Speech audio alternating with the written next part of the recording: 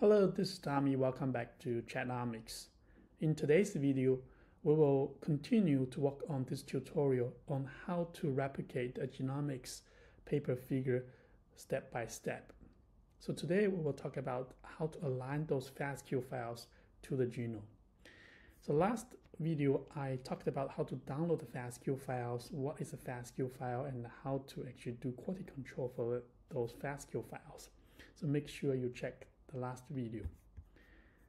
Okay, let's go back to the tutorial here. So remember, this is a ChIP-seq dataset, and the ChIP-seq um, it's a, a, method to investigate genome-wide binding of proteins, transcription factors, or histone modifications.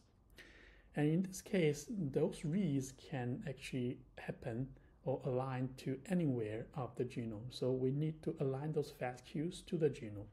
Compared to RNA sequencing, because RNA-seq, uh, you only have reads that mapped to the exon, so you really align those reads to the transcriptome rather than the genome.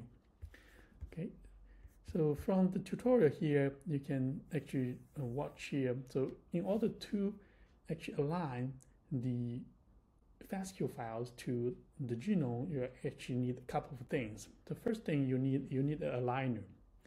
So that um, um, the second thing you really need is you need a reference genome. And it can be actually confusing even for human genomes. You have actually multiple places to download the reference genome. You can either download them from UCSC or from NCBI, Ensembl, or even GENCODE, right? And of course, you also need to choose a tool, a aligner, to align those reads. And we can take a look uh, of those FASTQ files and then see how long the reads are. So in this case, let's go back to the data and go to the FASTQs and you should take a look at one of the FASTQs here. So you, you can just copy the commands here and get the just the first read. Okay, where, oh, it should be FASTQ. There's a typo here. Fast.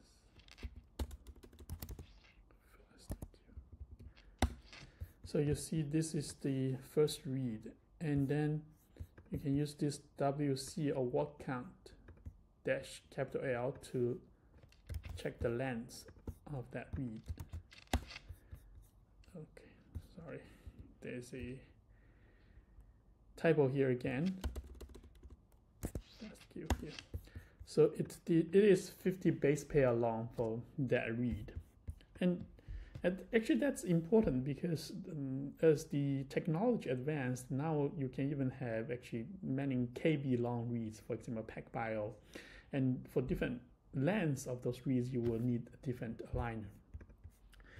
So as I said, STAR is a popular aligner for RNA sequencing. BWA or BWA-MEM is a very popular uh, tool for DNA sequencing alignments. And for long reads, if you PacBio or Nanopore, you can use Minimap too. So both of them uh, were developed by Heng Li. Okay, so in our ChIP-seq data, because it's 50 base pair long, so we will use Bowtie 2. Okay, so I have a link here, and you can read the uh, tutorial for Bowtie 2.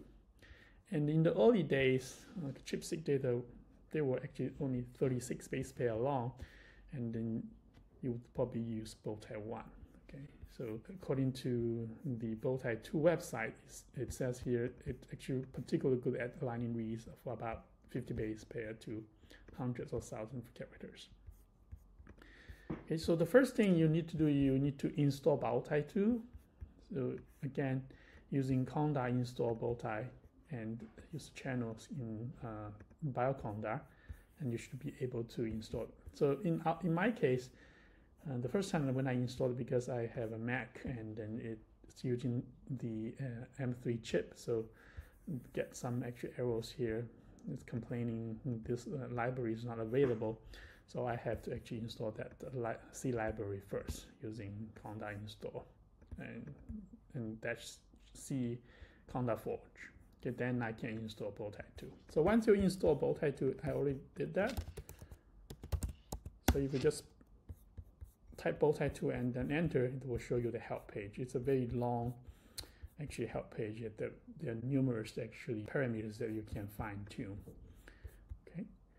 Okay. Now we have the aligner, so we need to actually download the reference. So usually you usually download the FASTA files for the whole genome, and then you create an index for different aligners.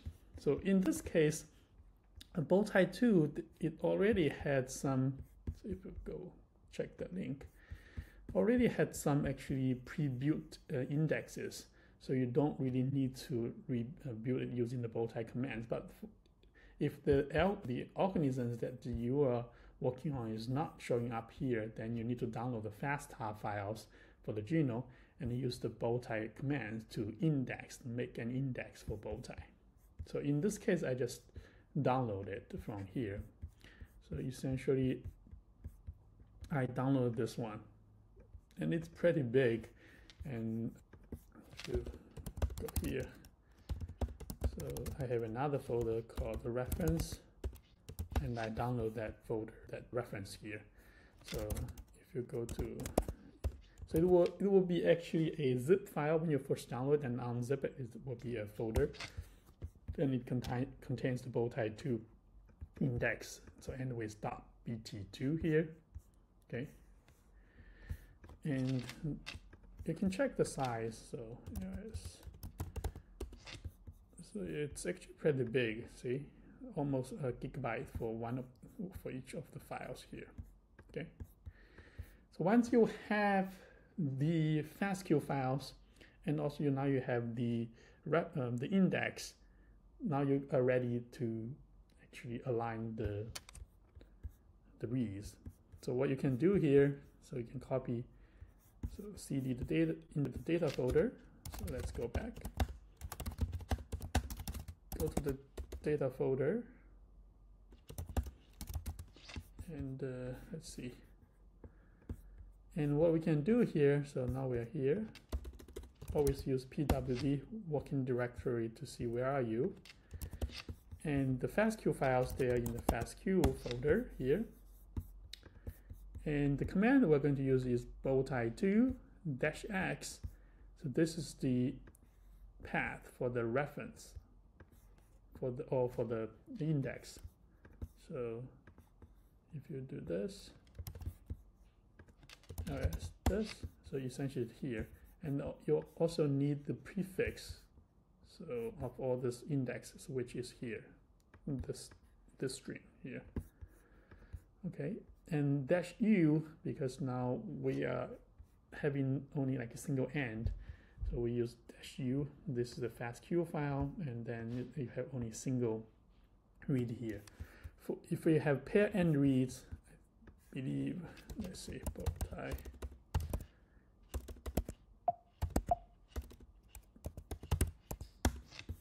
And uh, if we can look at the help page here.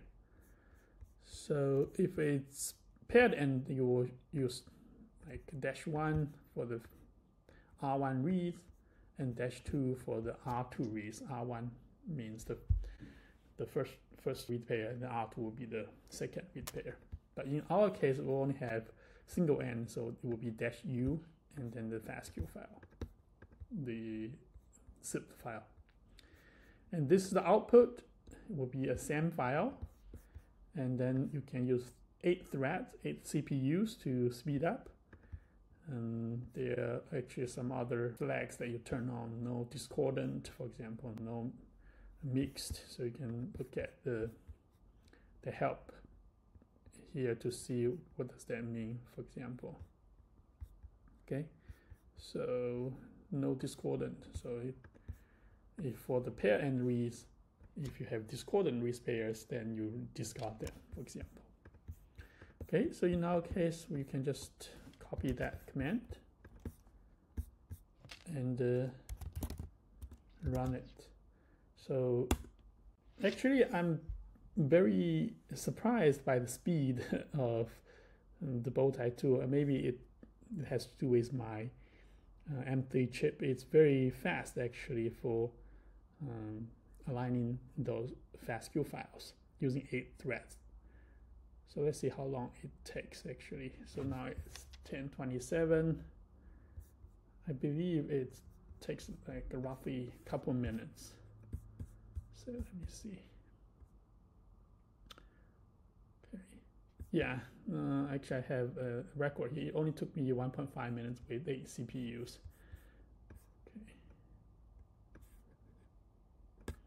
So the output file will be a SAM file which is a format to store the alignment.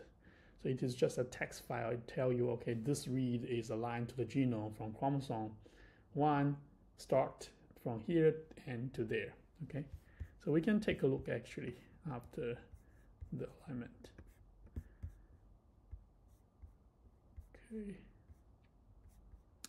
And that's actually just for only one, one actually FASTQ files for the YAP one and because I want to loop over all the FASTQ files and align all of them, actually I remove the SAM file first and I use this for loop to align uh, them one by one. So for FQ, this is just a variable in FASTQ and then wildcard uh, star fastq.gz. So this will glob all, all the files that end with fastq.gz and then use do this command, the same uh, reference or index, dash u will be the FASTQ files, and this will be this variable. Now you use the dollar sign FQ to ref to refer this variable.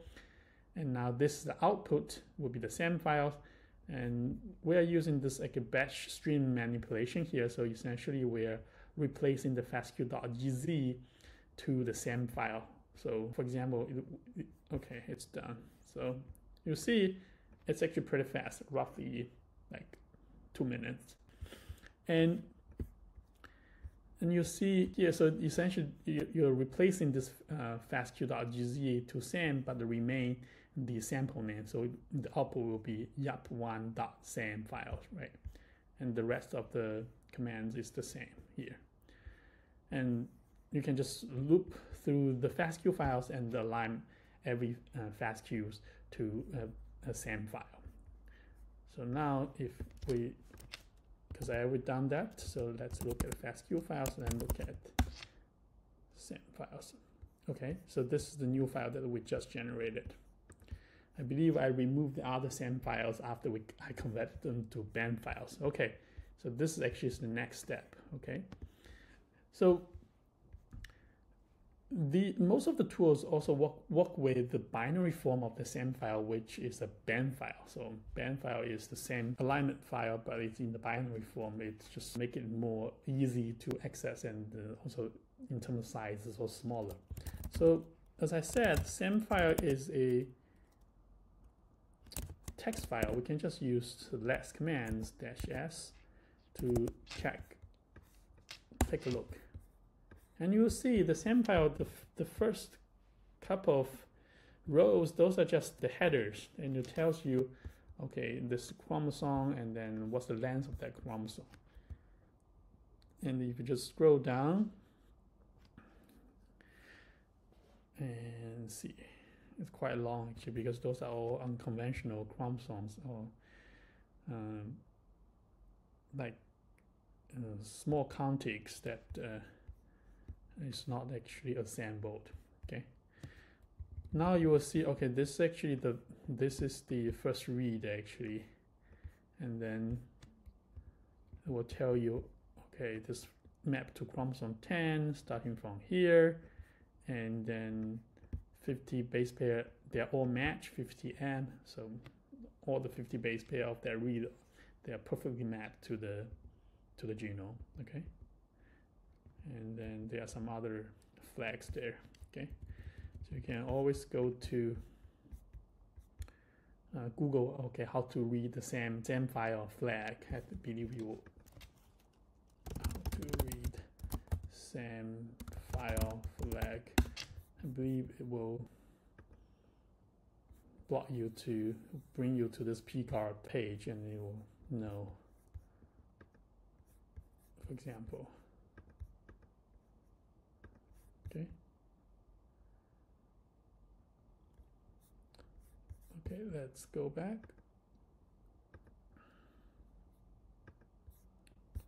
Okay, so once you have the BAM files, now you need to index it. So after you index the BAM file, it will actually enable you to random access to, to the reads, and then other many other tools that actually require, for example, SAM tools require the index file. And then to create the index file for the BAM file, you just use the SAM tools index commands. And in this case, in this case, I just loop. So first of all, I think we need to first convert the SAM files to BAM files. Okay, so you, you need to install the SAM tools, conda install SAM tools in the bioconda channel. So once you have the SAM tools, so use Q. So if you just type SAM tools, press enter, it will tell you all this help. And then in here, you can use the view commands and convert the SAM files to the BAM files. Again, here is the same for SAM. So we're looping over all the SAM files and we're using that bash string manipulation again to change the SAM suffix to BAM. Okay, so SAM tools view the SAM files convert to BAM files. Okay, let's see. I already have all the BAM files in the FASTQ folder. So those are all the BAM files. And once you have that, now you can index using the SAM tools. No, actually before the index, you actually need to sort reads by coordinates. Okay, so after you sort the, the, the BAM files by coordinates, actually uh, it enables you to efficiently retrieve by genomic coordinates. Okay. So you use the SAM tool sort function and, and use for thread and this output essentially the sorted BAM. So change the suffix from BAM to sorted.bam and for all the BAM files. So this is the original file, the BAM files. So after you sort them, it will become, um, it will actually generate a new file called sorted.bam, okay? And then lastly, use the index commands to index all the sorted BAM files. Okay, so now that you already have the mm, FASTQ and then convert FASTQ to BAM, to sorted the BAM, and then index them. Now you are ready to move to the next step. Okay, that's it for today. And uh, in my next video, I will continue on the tutorial. And I will see you next time. Make sure you subscribe.